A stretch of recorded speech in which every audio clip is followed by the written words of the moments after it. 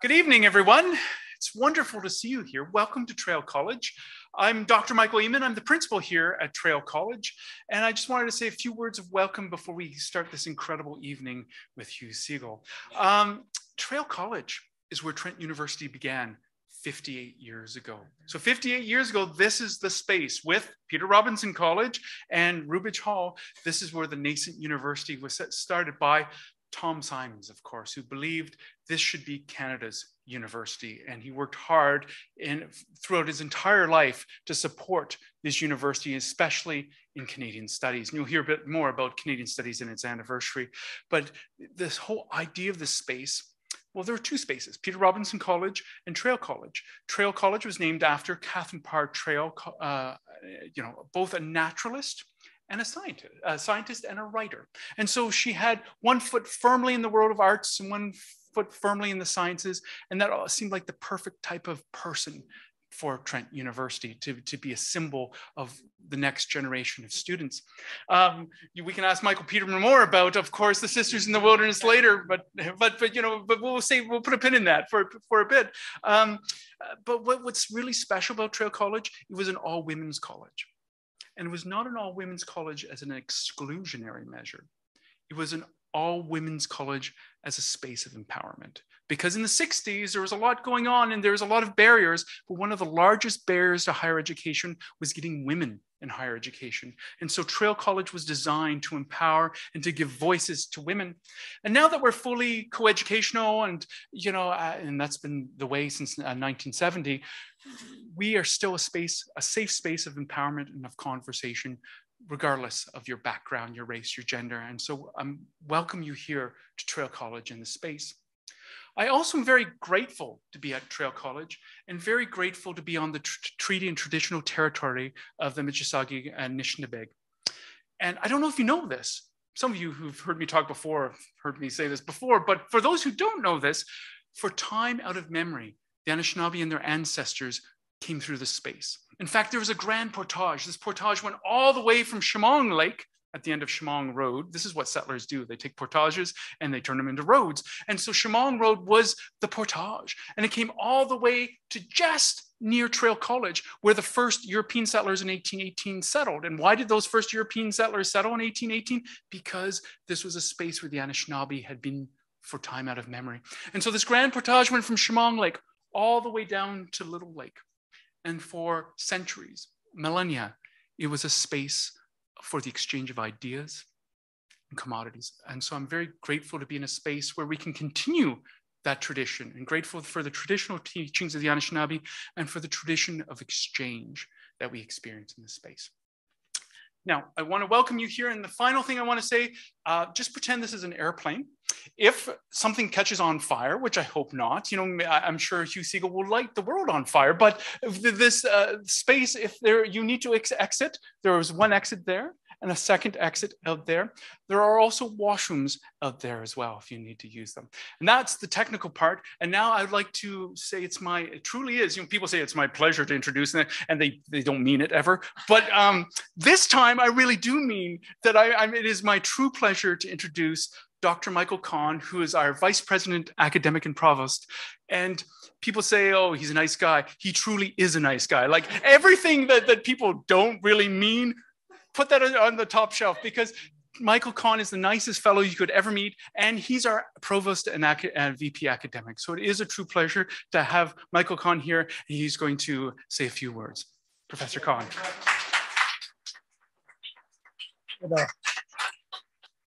It's interesting, but I don't, I don't know if that nice guy label sticks around budget time. And Michael, I didn't realize, you know, the rich history of Traill College. Um, some of you may know I joined Trent about two and a half years ago, and we didn't have a home at the time. And actually, we stayed at Trail College for about three months. And what a fabulous host Michael, Michael was. But that was our, you know, initiation to Trent University, and it was absolutely fabulous.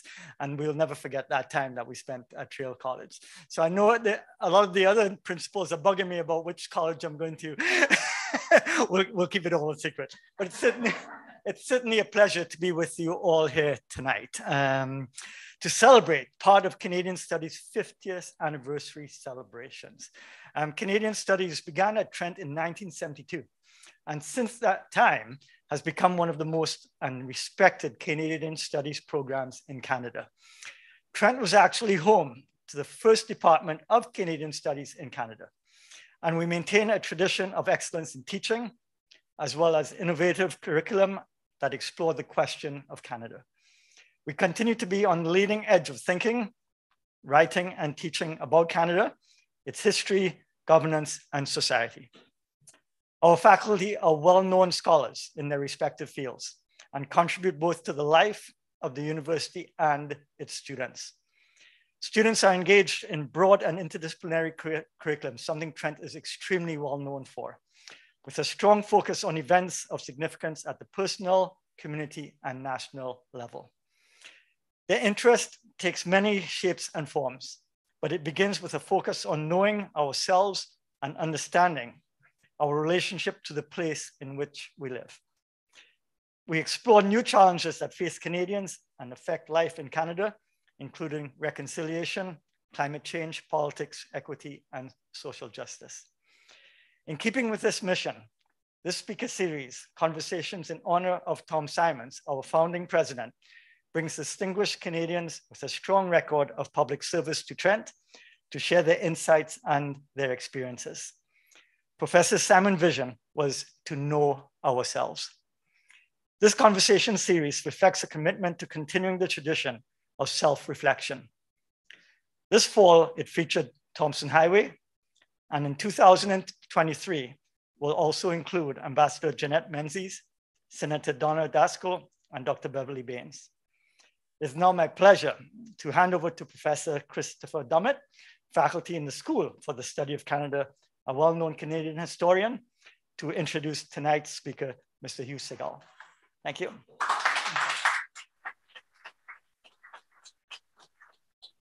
Welcome, everyone. I feel like this is the this is the answer to a joke about how many academics does it take to introduce a speaker or change a light bulb. The answer is three. I'm the last one. So we're okay. We're almost there. Uh, you're not here to listen to me. You're here to listen to our uh, distinguished speaker, Hugh Segal. It's a great pleasure for me to welcome him, to have just spent uh, a little bit of time having dinner with him. Uh, for me, uh, Mr. Segal was, a man on, on the television in the, in the 19, early 1990s as I was uh, consumed with politics. And so I, I, I was, I, I, suppose I was first knew, knew you that way and have subsequently got to know Mr. Segal in a whole host of ways, including the many books he's written. I'm supposed to do the usual thing here, and I will do the usual thing, which is to say that Hugh Segal, for those of you who don't know him, has a list of things that when he's given these talks before, many people have listed, and they will begin with, to tell me if I'm getting this right, um, you know, obviously former advi advisors to Robert Stanfield, uh, federal uh, progressive conservative leader, uh, Bill Davis, of course, uh, Ontario Premier, Chief of Staff to Prime Minister Brian Mulroney, just just just just at, at the best point in Mulroney's career uh, in the early '90s. Very, very, very pretty easy time to be Chief of Staff to the most unpopular Prime Minister in the country, and and obviously longtime uh, Senator. He has had many academic appointments, including ongoing now, and including as a, a master of and then and then principal at Massey College. Um, position basically is just like Mike Michael Eamon. Um, uh, they're really the same. Uh, and but I, I, I, would say those are the things I'm supposed to say. But I, I, think I'm very pleased to welcome Hugh Segal to Trent in particular because of uh, the Tom Symons connection. Uh, Tom Symons is very a, a, special figure at Trent. I think to a lot of people in this room, and even people who didn't know him, have, have a sense of what he meant to a lot of, a lot of people, and certainly meant a lot, uh, uh, a lot to me personally. And it, it means a lot to know uh, about the connection that that that uh, uh, Tom Symons had with with Hugh Segal. And I, I, I think of it in many ways, obviously a personal connection, but a shared sense of of, of, of, of, progressive conservatism, uh, the way that they, they are similar kinds of figures. Uh, so it's a great honor uh, for, for, uh, for me to be the one to welcome Hugh Segal to come and talk on 50 years of Canadian studies, small caps at Trent. Okay. I, I want to I wanna thank Chris for going out of, out of his way to make, make reference to the fact that when I joined Mulroney in the 90s, that was the easy time.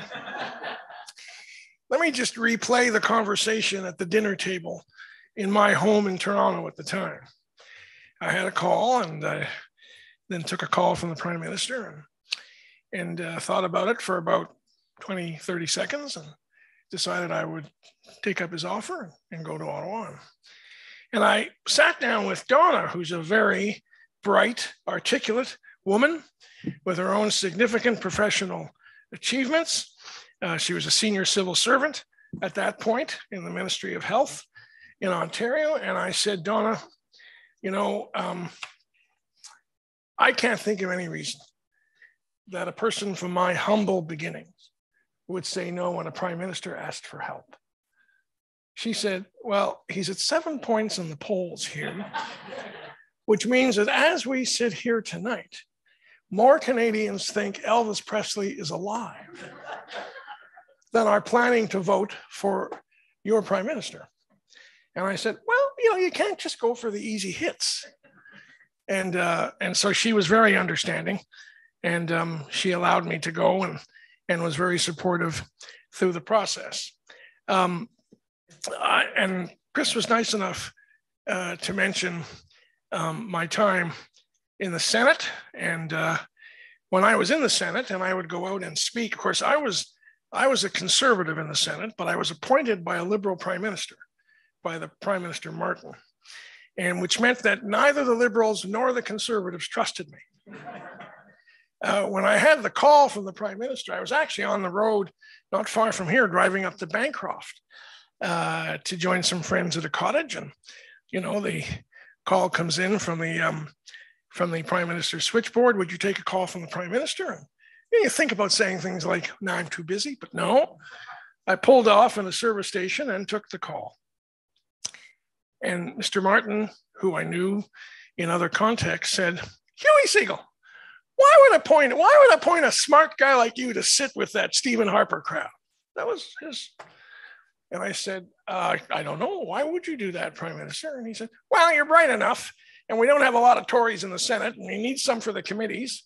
So I think you'll do. I think you'll be all right. And and uh, and I said, Well, you know, Prime Minister, if I'm sitting in the opposition party in the Senate, I will, by definition, be asking questions every day, which maybe do not reflect well on your government, because that's what oppositions do in our system. And he said, Huey, look, do what you like. I mean, I, you know, whatever, you know, and I'm thinking, okay, he is 25 points ahead in the polls as we speak, which, which is where he was in the cycle at that point. And I said, you know, Prime Minister, if you're saying I can sit as a conservative, support Mr. Harper, and be as tough minded as necessary. You are, that is really graceful on your part. And I think I'm speechless. He said, I hope you stay that way for the rest of your career. It's the absolute truth. I can't make any of it up. Um, the uh, process that brought me into politics and connected me with Tom Symons uh, really related to my desire to be a progressive conservative federal candidate in the election of 1972. Um, and let me say that the riding I ran in, Ottawa Centre, had been a riding which had been held by the Liberals for the previous 40 years by substantive majorities. And so, you know, I could win the nomination because, frankly, it wasn't all that a competitive a nomination. There are other people running, but, and we had a huge, wonderful slew of students from Carleton and I, I, I, had not quite finished graduating, just so we're clear, when the nomination took place, and they all poured in, and we had a very successful meeting. And at one of the meetings uh, uh, during the actual election, so the Liberal candidate was a, lovely gentleman by the name of Hugh Poulin. He was a Liberal lawyer, and he had been George McIlraith's campaign manager, George having held the seat for the Liberals for about 30 years and and there was myself. There was a candidate from the Waffle in that election, and there was a candidate um, for the NDP. And because of that four-way split, I ended up doing far better comparatively. I didn't have to get a lot more votes, but I ended up only about 1,100 votes behind the, uh, which is about a 550 vote margin. But at one of the actual public meetings, where you know each candidate speaks and there's questions. One gentleman got up and went to the microphone and he said, "I need, I need, to, I need to understand this. The NDP candidate was a gentleman by the name of Irving Greenberg, who was chairman and CEO of a company called Minto Construction. By far the wealthiest man in the room, if not the wealthiest man in the city. Huey Poulin was the liberal, and I was the uh, conservative. So the gentleman goes to the microphone and says, Can someone explain to me why the richest man on the stage is a new Democrat and the poorest person on the stage is the Tory? What's wrong with this picture? So I went to. And I said, Look, if I had his money, I'd be a new Democrat. but I can't possibly. Um, part of what I think is important about Canadian studies is that we don't lose our sense of humor because it's a big part of our character as a society, one of our great strengths. Um, I ran for leader of the party in 1998 and uh, came second to Mr. Clark on the first ballot, but the gap was substantial. And let me just say that as I went across the country, knocking on doors, speaking at meetings, helping to raise money, and all the rest, this group in this room would have been a monster rally. So, if nothing else, politics teaches you um, the benefits of, of humility. Now, each of us in this room and the thousands of other students and faculty and researchers and readers and fans of Canadian studies as a multivariant academic discipline focused on our own country have traveled different paths or will travel roads in the future because they and we were attracted by a professor or an author or a movie or a reading or a book that lit the flame and ignited our focus and interest. In my case, it was my very great good fortune to meet Tom Symons when I was very young and Tom was in his prime. When you go through Tom's myriad of achievements, summed up succinctly and effectively by our ambassador to the United Nations, Bob Rae, when he said, and I quote, to me, he was the progenitor of Canadian studies. He just built things, end of quote. You get a small sense of how much Tom did, not only for this institution and Canadian studies, but for the country as a whole. From chairing the Association of Commonwealth Universities to being president and vice chancellor here, his Oxford on the Otonabee, although he admitted that it was more like Durham College as opposed to an Oxford college, but I just point that out. Chairing the Ontario Human Rights Commission in its early days, establishing the second Pearson College in the entire world, uh, right here in Canada, in BC. His books written, commissions chaired. Uh, one entry is missing. And it may be because those who wrote all those wonderful biographical notes didn't think it was important, or Tom didn't think they should think it is important, and it never got mentioned. It may have been too insignificant and temporary to earn any notice but it was a central part of my young life. In the 1968 general election, Pierre Elliott Trudeau won a solid victory against the Progressive Conservative Party, led by its newly chosen leader, the Honorable Robert L. Stanfield, former Premier of Nova Scotia. Afterward, uh, Mr. Stanfield had to deal with the traditional circular firing squad, known as the Progressive Conservative Parliamentary Caucus, right wing dissidents in the caucus, encouraged no less by the former Prime Minister of Canada, the Right Honorable John Diefenbaker, who was still the MP for Prince Albert, Saskatchewan, were split among moderate right and far right and extreme right and narrow right and silly right, opposing things like official bilingualism and always making any policy coherence or congruity very difficult for the leader. So, in his efforts to prepare for the 1972 federal election, Mr. Stanfield established the Aggressive Conservative Policy Advisory Committee and asked Tom Symons to be its volunteer chair. It was composed of caucus representatives from the middle, red Tory left, prairie right, elected members of the party's national executive, campaign officials, and its job was to prepare a directional policy framework that would be the basis for the party's 1972 election platform. The committee began to meet after the annual and general meeting in Ottawa in 1970. as I was the newly elected policy vice president of the Progressive Conservative Student Federation of Canada, I was the designated PCSF member to uh, serve on Dr. Symons' committee.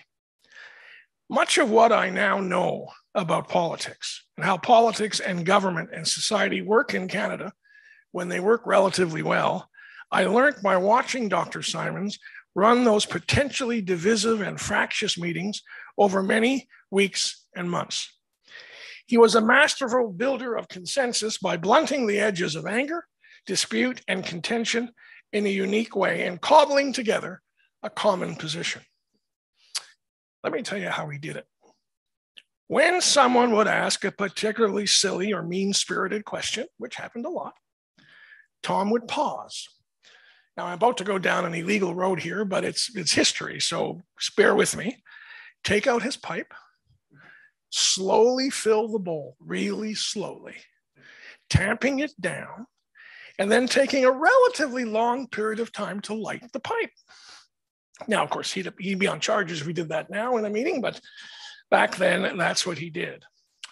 And that silence would actually make it possible for someone else on the committee to say something, to respond to some of the stupid things that had just been said, or maybe even make a positive or constructive suggestion.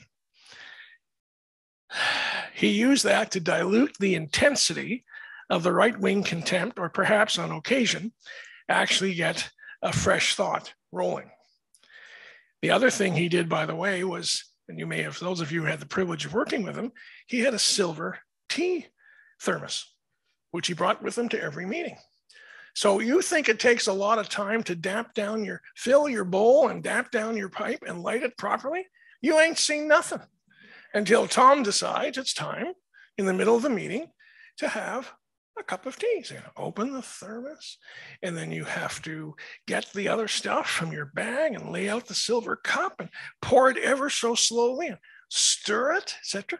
All of which became absolutely tactical ways to keep the committee from blowing itself up, which it would have done were it not for his leadership. As the youngest person on the committee, I would watch all of this in awe in his own congenial, diplomatic, and creative way, he accommodated radically different views on issues like social or economic policy, federal provincial relations, defense, foreign policy, by nudging the committee towards a coherent and focused common ground. His silver thermos with tea, his pipe, he brought several to the meeting, and his pouches of tobacco, because at different parts of the day you had different tobacco. You didn't just stick with one brand all day really became the bridges over which some civility were built, was built in those, in those circumstances. And over many meetings and many weeks of this approach to chairing the meetings, Tom produced a coherent, well informed, balanced policy framework on which the party could successfully campaign from coast to coast. Now, the election in 72 was supposed to be a slam dunk for the Liberals and Pierre Elliott Trudeau the Liberals lost their overwhelming majority. The Progressive Conservatives radically increased their seats in every single province except for Quebec. Mr. Stanfield came within two seats. The final score was 109 for the Liberals and 107 for the Progressive Conservatives. And in two of those seats, the margin between the Liberal and the Conservative was less than three votes. Now, I can't think of a closer election in our national history a liberal romp became the closest expression of public ambivalence about who to choose for the government of Canada. The platform based on Tom's efforts allowed the often taciturn and uncharismatic, but wholly decent, bright, and pragmatic Bob Stanfield to gain strong national support for ideas like welfare reform, a guaranteed annual income, enhanced national defense, a more moderate and fair taxation system, and a federal system where the provinces and Ottawa found common ground on important social and economic initiatives. Mr. Stanfield was soft spoken and diligent. No double half gainers off diving boards, which to his credit, Mr. Trudeau used effectively in 1968. Rather, he advanced a vision that was more humane and compassionate than anyone might have thought possible of any party with the word conservative in its title. some of its membership were, shall we say, not as humane as com- or compassionate as the platform or as Mr. Stanfield himself. There are many compelling pieces to the multifaceted Canadian studies discipline as offered by Canadian universities and colleges from coast to coast. Literature to film, history to politics, natural landscape, remarkable geography, unique Canadian sociologies, the central and most important core thematic of our First Nations and the Indigenous foundations of life on the northern part of Turtle Island, from the multiracial and multicultural urban communities to the unique mix of small town lifestyles and microeconomies that compete with the large urban centers for priority on the national political economic agenda in Ottawa. The Canadian studies discipline is very broad and very inclusive. If I had to summarize what good emerged from the last half century since Thomas Symons created the Canadian Studies thematic for advanced post secondary and graduate study, I would argue that it raised the analysis of all aspects of Canadian history, Canadian politics, Canadian creative arts to a level of relevance up to or greater than the study of all things European or American, which had dominated the Academy for many years before then. I was very young in 1972 when the creation of Canadian studies was launched at various universities by a broad range of fascinating and inspired academics. And these included disciplines like history and anthropology and political science, sociology, literature.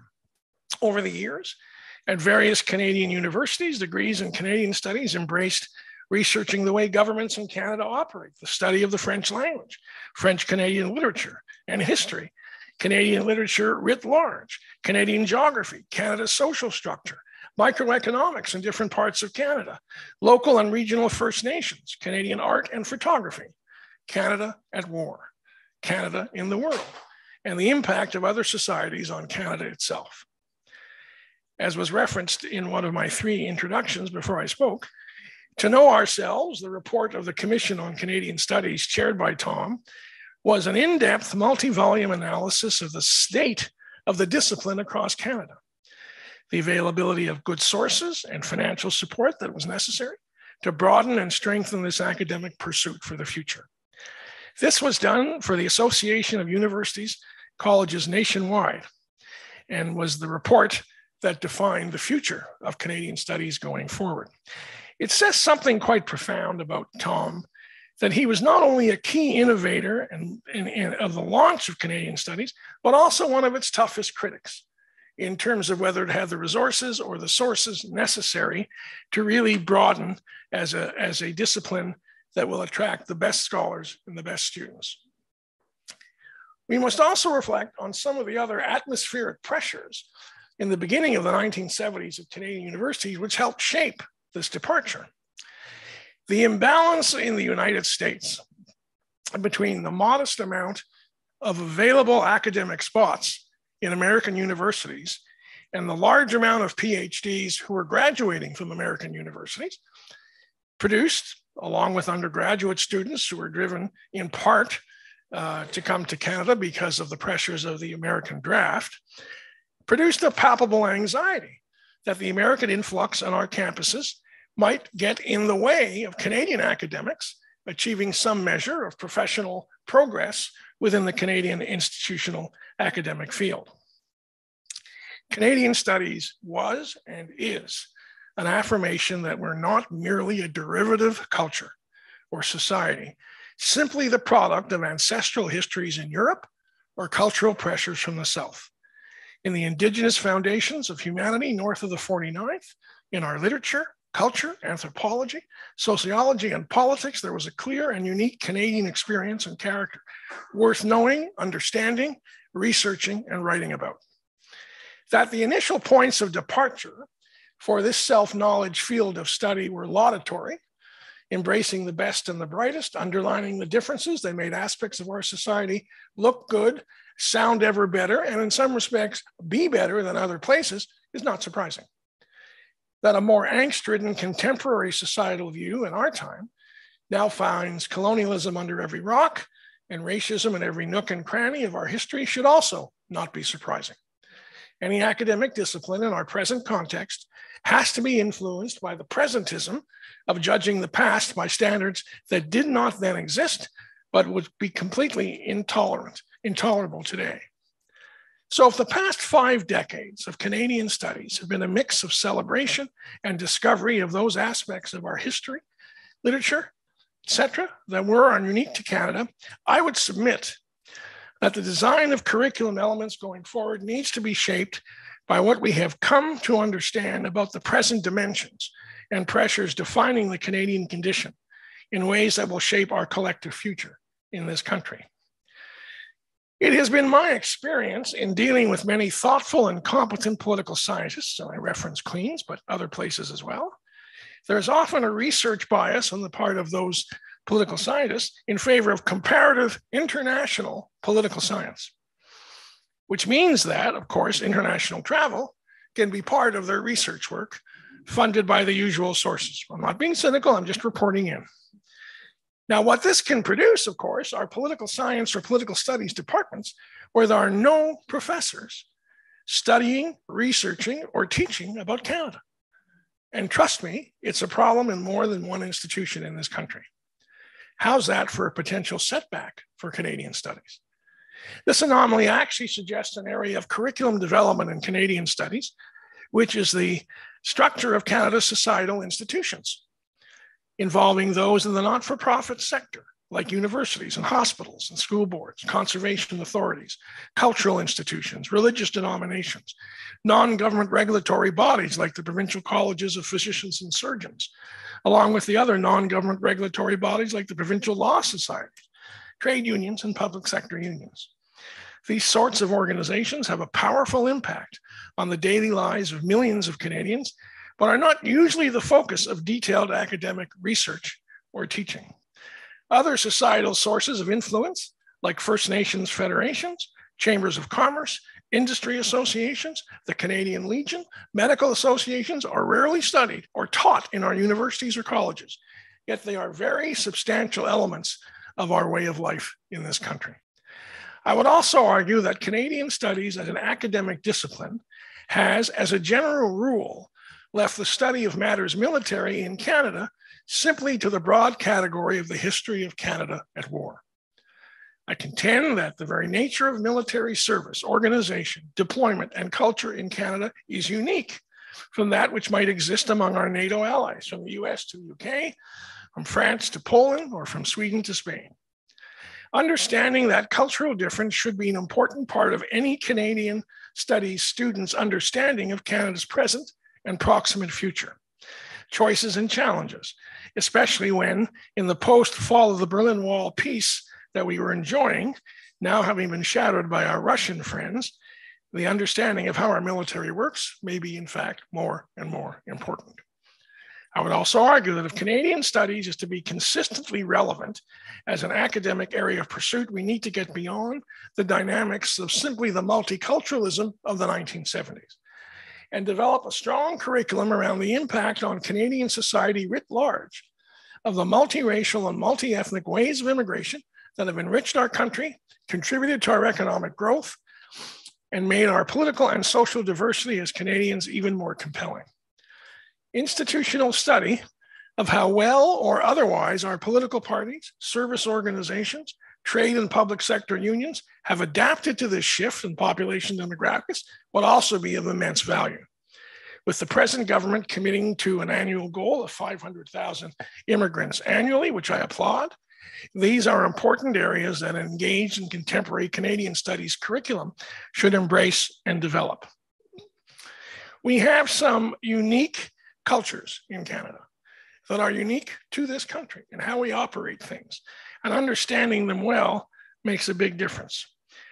You know, do we have a public service federally where the operating culture is really about process and never about results? And is that the fault of the people in the public service or is the fault of the political framework within which they operate? But a lot of Canadians would be interested to know what the answer to that question is. Um, we have a military culture, which is unique.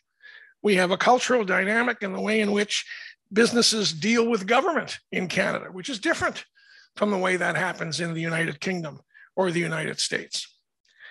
When it was my great privilege to lead the Institute for Research on Public Policy in Montreal between 1999 and 2006, which, by the way, was promised in Mr. Trudeau, the father's first throne speech, and was then put together by the provinces and others as a, as a funding organization that would fund independent research. The federal government matched what the private sector could raise. Um, I was a great proponent of what I called search conferences, not a symposia where researchers brought in their work and analysis on issues or policies of the past or present, but conferences where bright young researchers, practitioners, and academics made a reasoned case for what issues and problems in the social and economic context, the global security context, needed to be more fully understood and why. For Canadian studies to be more than a celebration and study of the past and present of the Canadian reality, it must at some level be a perpetual search conference about the challenges, opportunities, and dynamics, both at home and abroad, that will help shape the future of our country. And in this respect, being as enthusiastic about addressing areas of policy and cultural narrowness or weakness will be as important as cataloging the immense and varied strengths of our way of life. Phenomena like uh, narrow ideology, ideologically driven parties, uh, right wing extremism, we would have said some years ago really has nothing to do with us. Actually, it does. And it's not, there's not enough study and research being done on its sources and its implications. In the 1972 election I mentioned earlier this evening, in which the policy work done by Thomas Symons had such great and positive effect, the government slogan, Pierre Trudeau's slogan was, and I quote, the land is strong, implying complacency and, you know, we're in charge. Don't mess with us.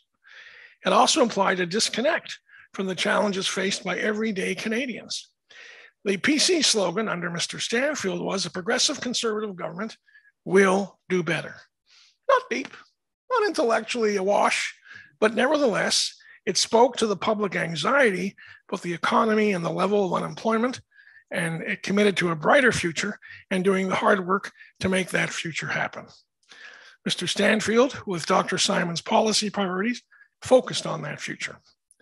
And that is what Canadian studies must do to continue to generate the dynamism, relevance, and interest amongst the best of scholars, students, and researchers who will keep the Canadian studies world engaged, energetic, and compelling.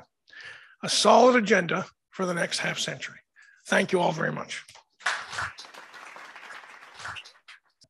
So I, we, we would welcome questions uh, on a, a, any uh, aspects of the talk and, and otherwise. You, you, mentioned the decline in Canadian studies academics, and at some universities, uh, this is a serious challenge, and that probably could carry over to student interest also. Can you comment on the parallel or maybe coincidence of this and government's so-called focus on job-ready skills, which tend to be focused on STEM subjects? Right. So, um, having taken Latin as opposed to math, because uh, I wouldn't have survived the math, just so we're clear, you'll you'll understand there's a bias to my answer. Um, I think if you look at uh, and we you all see them with your own graduate. I see them with our business school and other graduates at Queens. Um, the amount of those young men and women who are now hired to work for globally focused corporations um, because of their skill set and their academic achievement and their intellectual acuity uh, does not, in my view, exclude those who've spent time building up an absolute warehouse intellectually of understanding of their own country. And if you look at all the significant immigration trends and the economic trends, and even the climate change challenges, Canada will become more and more central. And it'll be in corporations' interest and government's interest to hire people who have that clear, precise, um, uh, intellectual understanding of their own country. So do I do I think that people should hope that if they only have a degree in Canadian studies, or they don't they don't add to that with some other work, their chances will be as good as those who've been a bit more diverse in how they put together their curriculum choices? No. But I don't think that being a student in Canadian studies, the undergraduate level or the graduate level, necessarily suggests that you're not going to be looking for other uh, attainable academic areas of, of acuity with which you can advance your career. We got a quote from you for our review book. Be my guest. Question in the back. Um, Armin LaBarge, uh, proud Trent uh, Canadian Indigenous Studies grad, class of 95. Uh, your comment on presentism was uh, interesting, and I, I, would ask, how do we judge then those voices in the wilderness uh, back in the 1800s, like Dr. Peter Bryce, that were raising concerns about the treatment of the Indigenous peoples in Canada? How do we judge them who were speaking out at that particular time, and the voices today that are speaking out about issues that maybe 30 or 40, 50 years down the road will be looked upon differently as well? I would argue that the way to address uh, people like the individual you referenced and those who are now expressing deep concerns about the future in a host of areas is to deal with what they're saying with respect, to integrate the arguments they're making into our overall analysis, um, but also not to destroy all of Canadian history because there was a thematic in this country, as there were in many European uh, uh, settled countries, of a measure of colonialism and bigotry and the rest. Uh, the issue is to look at the strengths and the weaknesses, to identify them, be frank about both. We went through quite a debate in Kingston about the removal of the Sir John A. Macdonald statue from City Park. And um, I must say, uh, the debate at our city council was actually very thoughtful and very engaged. And it wasn't about good guys and bad guys or how dare you. It wasn't that kind of discussion. It was a discussion about what was the right thing to do. And the conclusion was to remove the statue. I personally would not have been in favor of that, but I respect those who were, and to uh, re erect it in the Cataraqui Cemetery where Sir John A is buried and where his grave, which is on a hill, and where there are ceremonies twice a year on his birthday, on the anniversary of his death, overlooks an area we can put out chairs and things for students and others. And that would be a place, in my view, where seminars about the strengths of Sir John A and the weaknesses and the and the areas of collective social bigotry he inherited and didn't do much about uh, should be part of the debate. So should the uh, the act the, the bill in, in 1872, which he brought in to give First Nations the vote and women the vote, being the first leader of any government to do that in that point in the history of the world. It didn't pass. The Quebec caucus of the Tory party could be counted upon to vote against anything progressive, and they did. Um, but I, all I think we need to do is ensure that we look at all the information, we assess it honorably, and we make it part of the narrative today about what happened in the past as a source of inspiration and education, but we must not allow to happen now or in the future. That would be my take. Got a, a question here from online, from the from the the, uh, the other digital space. Yeah. Uh, I, am embarrassed to say it's, it's not a Trent question, so I'm very upset with this question. uh, but it does is one the question uh, uh, uh, asking what your recollections of Dr. Stephen Clarkson, who was an advocate at, for Canadian Studies at the University of Toronto. Well, I knew Stephen before he passed. Um, I knew him when he was married to Adrienne before that marriage um, changed. Um, he was extremely articulate and direct. I think he made a substantial impact at the University of Toronto. And I think the level of Canadian focused studies, not only in history, political science, and literature, but in some of the uh, scientific disciplines where the work of Canadians uh, scientists became part of what was being considered in the curriculum was advanced remarkably because of his hard work. And we lost him too young, and he made a superb contribution. Yes, ma'am. Mr. I'm, I'm Rosemary Ganley, an engaged citizen. And, and I really enjoyed uh, your presentation, especially the research areas that are under research yeah. And would help our national identity and contribution to the world. I just want to suggest one, and it's women's studies, especially, yeah. especially I personally went to Ottawa, called by my sisters in 1984 wow. to make sure that gender was in the Charter of Rights. Yeah. so, and, but, but you covered many of those research areas that are under research, and then your point about more teaching, more teaching about us and, and our history. But I wonder if I could persuade you to get into the muddy waters of today and to comment. We always looked at you as a, a very um, reasonable red Tory.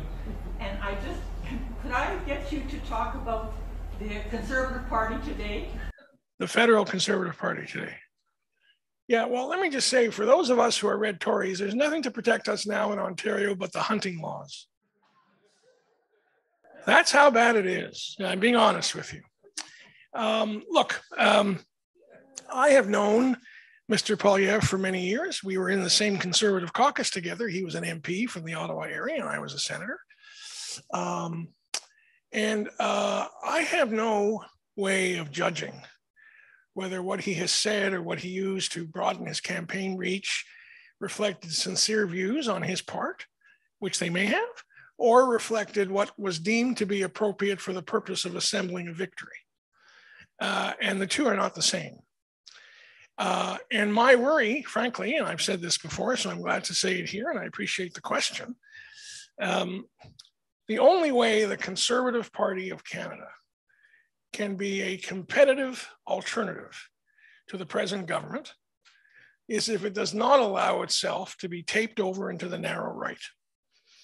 And that is, in my judgment, where it is now headed. Um, you don't have to be a radically left wing Tory to say peace, order, and good government are underlying constitutional values that matter.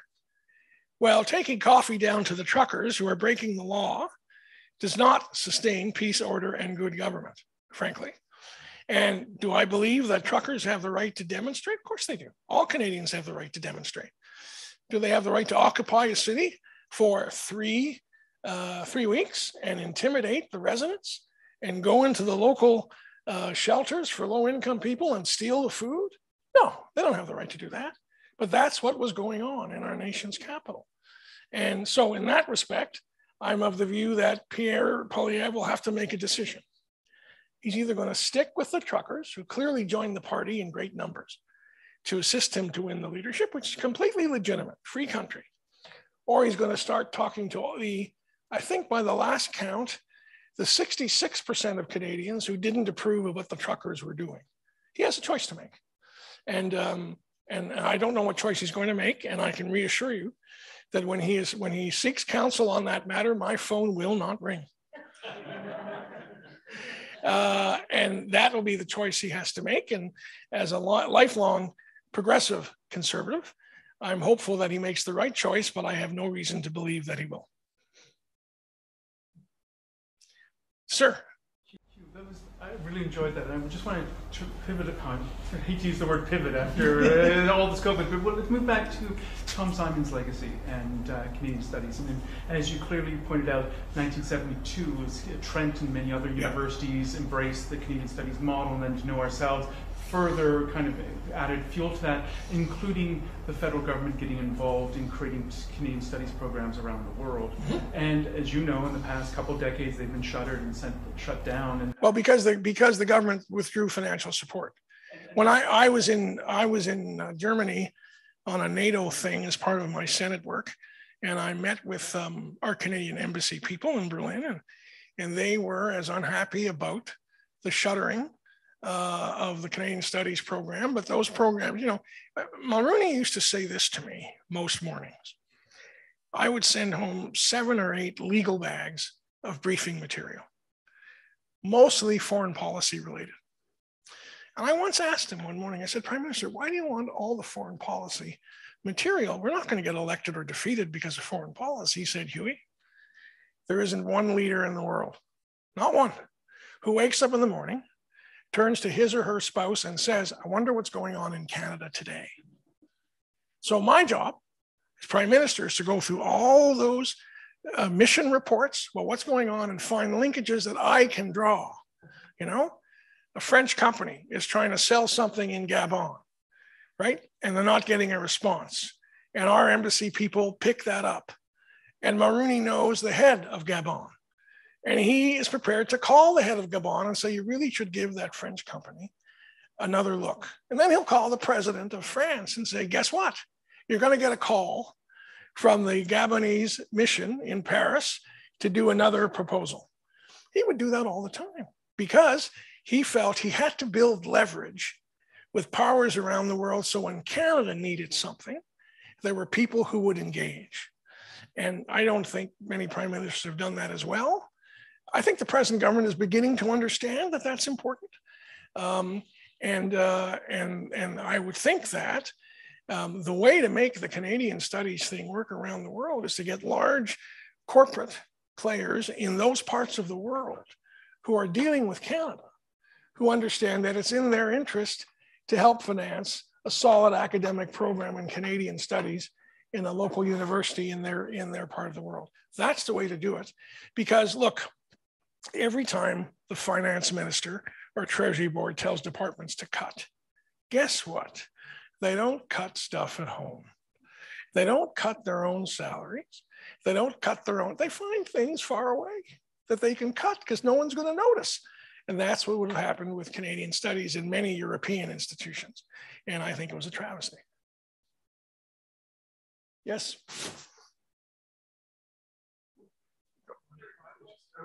Oh, sorry. At the back, I think. No, I, uh, Brother Grant, yes, sir?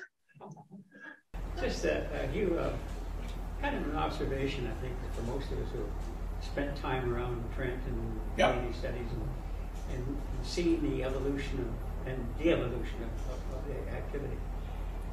How do we encourage younger graduate, ready to move professors or assistant professors, whatever, to join the Canadian Studies program? I mean, we're all getting older.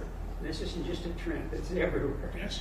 But we're not encouraging. I used to have hair when I ran for parliament. I had but what, what, we, what we do need is some kind of concentrated activity to say, Canadian Studies is here to stay. It's something we have to understand. If you're a CEO of a company and you've got multinational activities, you've got this and that, you've got to know Canadian Studies in all its dimensions, not just, you know, Canadian Studies our anthropology or whatever, whatever be like geography. Yeah. But I think we're losing the advantage as a small country to not put some effort, maybe it's part of its corporate, which I was involved in too, in to say, let's make this thing really happen and be big. Because if not, we're just going to retire into the distance. And the people say, oh, well, we're, we, were good at Canadian studies because Tom and Simon said we were good. Days have gone. And, and I think we need to really start to say, so, so young people get involved, become professors, become heads of departments, and generally really start. I would say um, I don't have a full answer to the question because it's a very substantial uh, question. I would say that part of what you need to do, what we need to do, is to broaden the curriculum. So the sorts of things being looked at, uh, the structure and organization of trade unions, the structure and organizations of business government relations. How are they different in Canada? Why do they matter? The more we can do that, the more we and, we, and, and by uh, by perhaps encouraging joint appointments, people who are appointed in the Department of Economics and in the School of Canadian Studies, because there's no reason for those those particular disciplines to be separated or divided.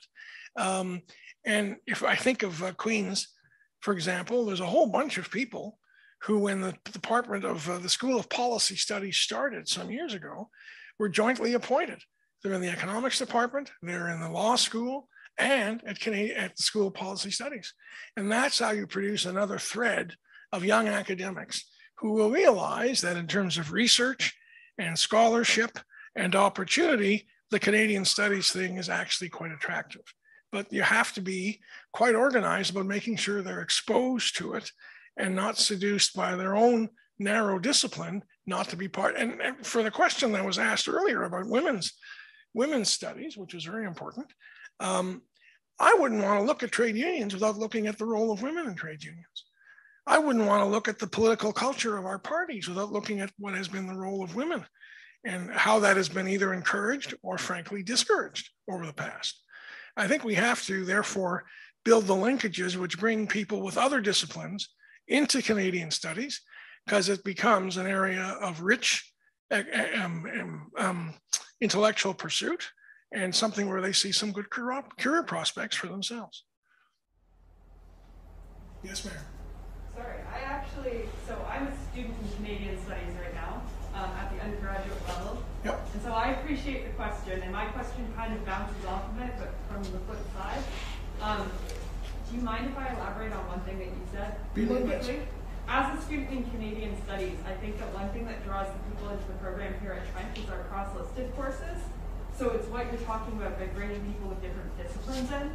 When we can take courses that are cross-listed with other disciplines, it allows people who did not start out in Canadian studies program to see what Canadian studies is all about. And that pulls people into the program. So it's making sure that the cross-listed courses are also being taught by people who have a fundamental understanding of what Canadian studies is. But that's a topic for a different day. The question that I wanted to ask is, how can I, as a young Canadian studies student, kind of get involved in that scholarship process? And what do you see as the future for somebody who's like in Canadian studies right now? What is the, the future potential for continuing on the pathway to becoming one of the Canadian studies scholars that you were talking about being fundamental at, like, advancing the programs in these universities? Sorry, we just had an online question. We can't hear the questions.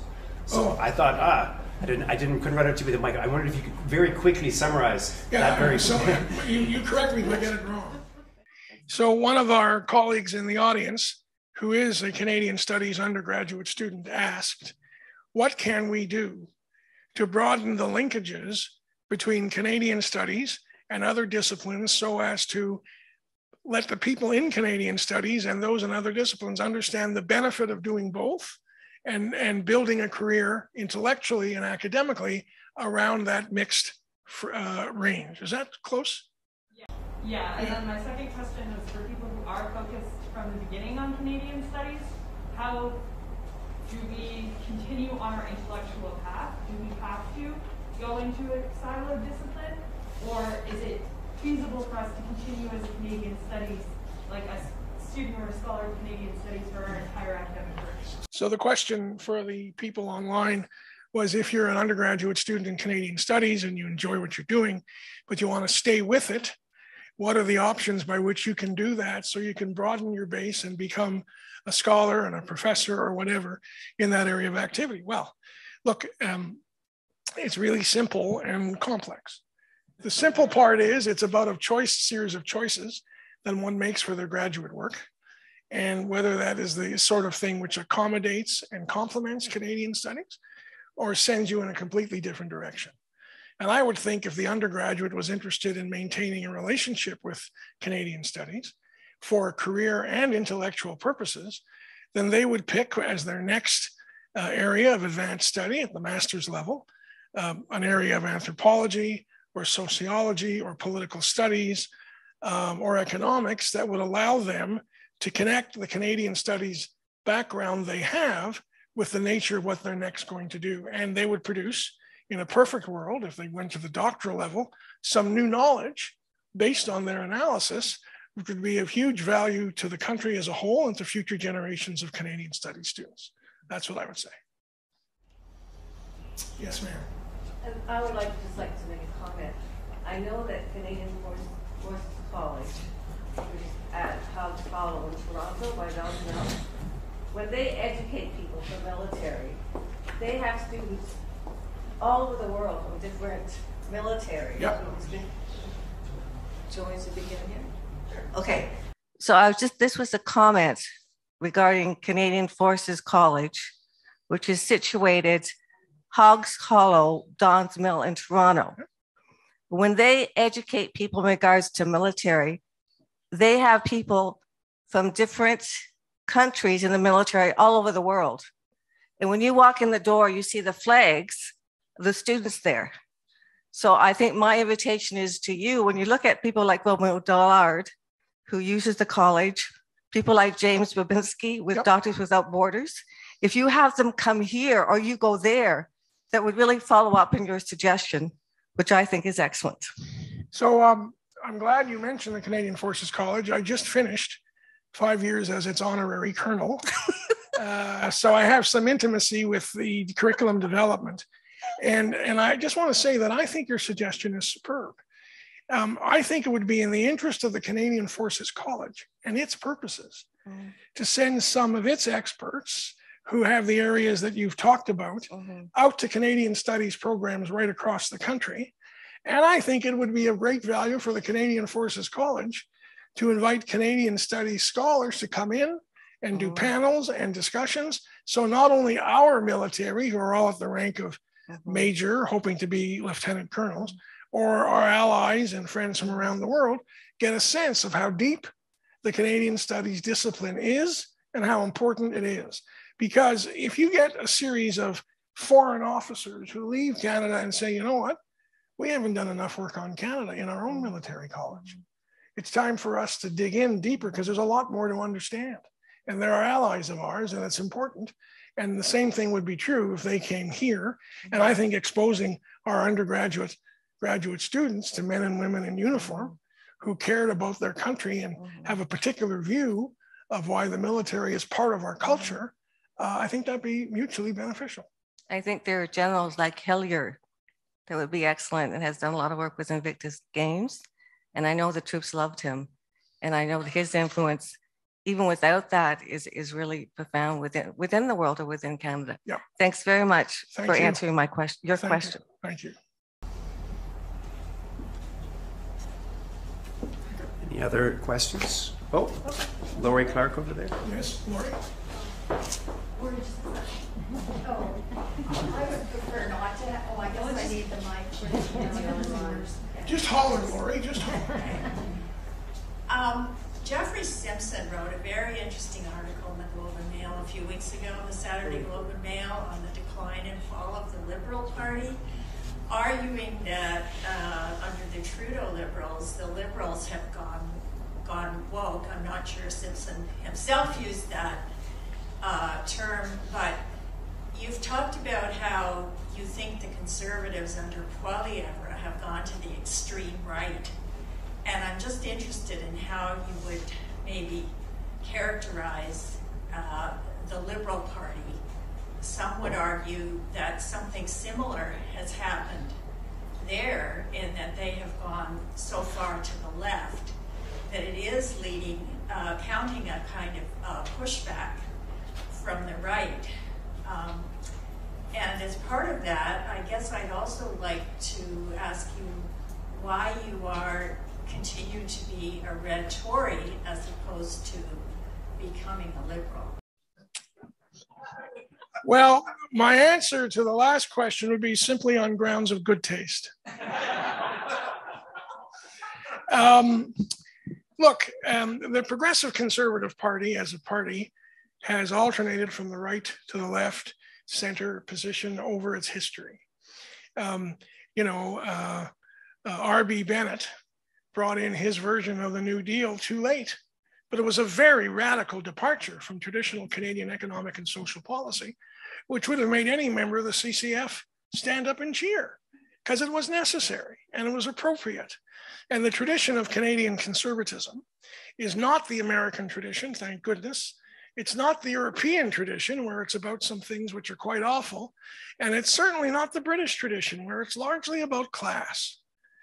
Canadian conservatism was about the mix of prairie populism, small town Canadian business ethics, inherent decency and desire for stability and balance. That's what it is at its best.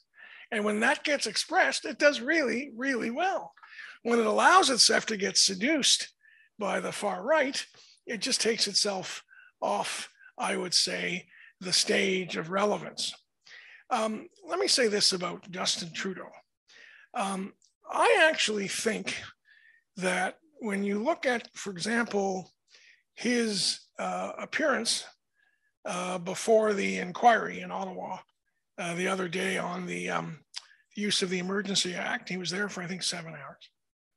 I cannot think of a prime minister who answered questions more honestly, more directly, more effectively, did not use any political games, just went at it as, a, as someone who showed a measure of intellect and grasp of detail quite frankly, surprised me. And I think part of our politics in this country in the last few elections has been to count him out before an election. And then all of a sudden, there we are. And I think it's because uh, the other parties have not undertaken what I would call a meaningful intellectual effort to build an option on the center right that would be attractive to more Canadians than the present mix of people who are thinking about voting conservative. Um, and my view as a red Tory, uh, I mean, uh, at my age, active politics isn't that much of a pressing issue.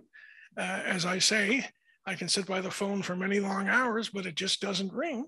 Um, at my age, I'm of the view that political parties are essentially instruments of trust.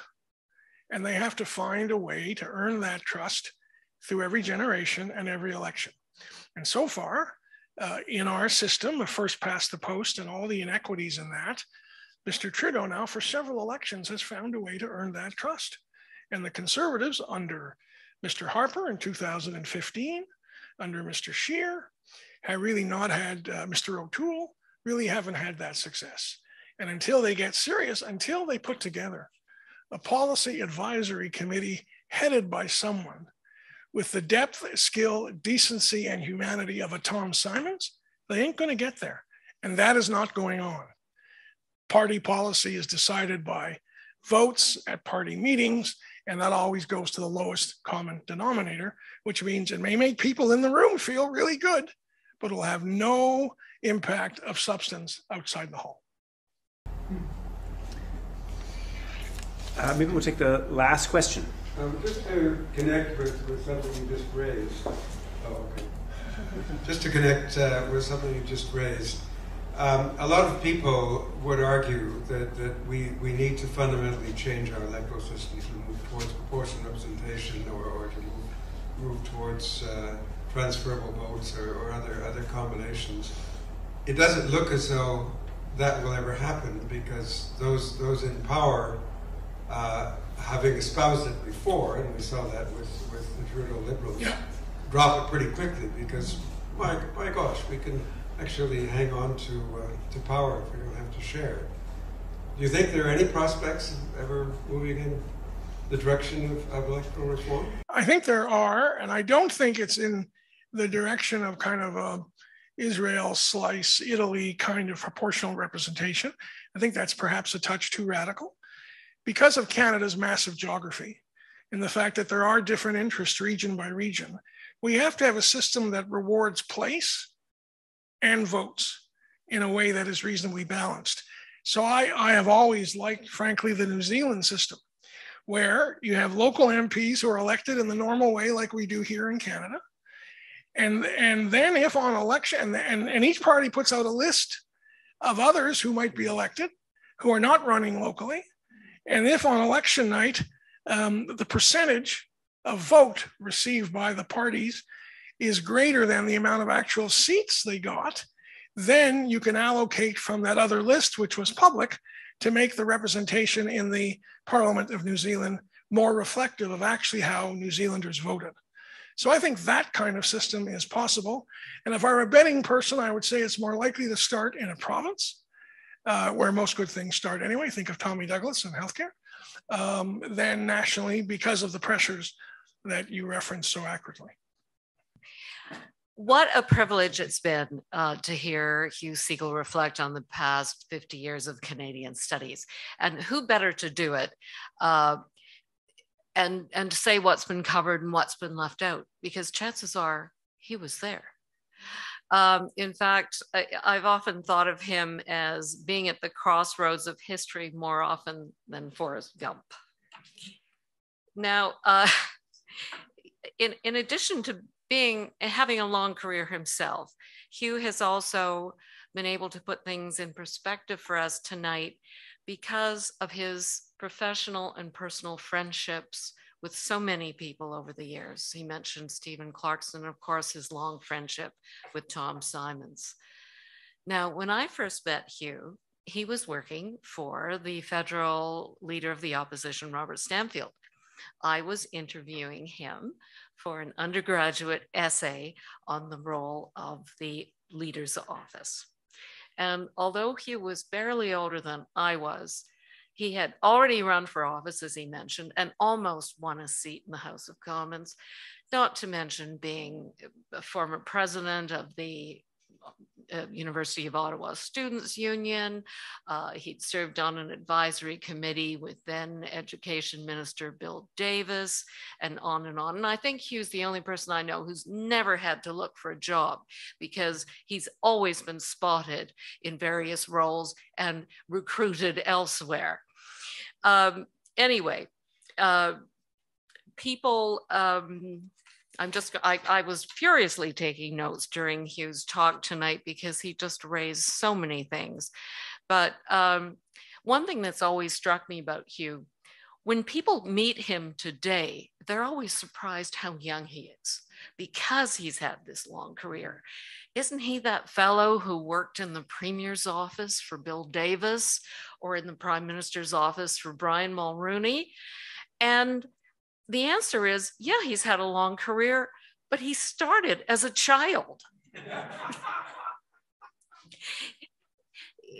when he was 12, John Diefenbaker visited his school and Hugh quickly tossed aside his hockey skates and started campaigning and going to policy conferences.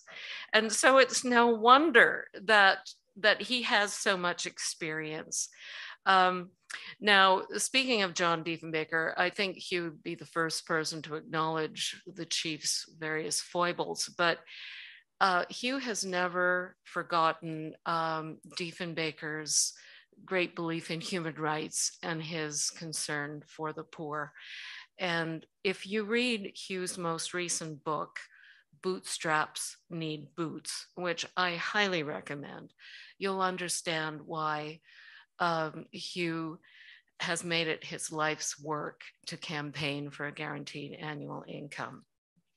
Now, political strategist, constitutional negotiator, senator, columnist, and now an academic, uh, Hugh has done it all and he's still thriving. He told me earlier he's lecturing in various departments at Queen's. He's also uh, involved in mid career, uh, two week programs for mid career civil servants and so forth. He is still taking all this experience and, and giving back. We are just so fortunate that he came to Peterborough tonight to share his insights with us, both in this room and online, and in the future uh, to anyone who would wish to watch the video recording. So, Hugh, on behalf of all of us, I would like to express our heartfelt thanks and uh, to give you this small token of our appreciation.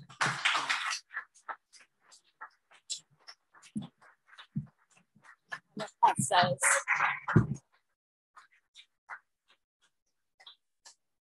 Okay, I think I think I'm the last person to come up again just to say thanks to, for people to coming and to remind people, although we're very pleased uh, uh, with tonight's event, there are actually a host of other events. So we could check out the the, the Trent Canadian Studies 50th anniversary website, uh, you can see all those events. And I think there are the brochures on the way out. Is that right, Janine? Yeah. So if you're here in person, you can obviously do that. If you're here digitally, you can. Uh, uh, uh Google is your friend.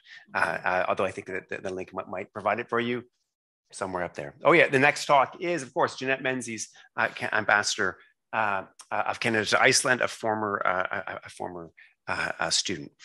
okay. So thanks very much, and we'll look forward to seeing you at future.